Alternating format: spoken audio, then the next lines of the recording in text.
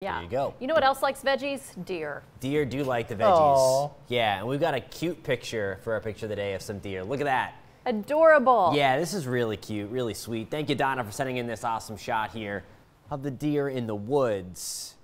Cool looking picture there. If you have a picture, I would love to see it. Hit me up on Facebook, Jonathan Kegges, WSLS 10 News, or shoot me an email, jkegges at WSLS.com. You might see your photo right here on Virginia Today.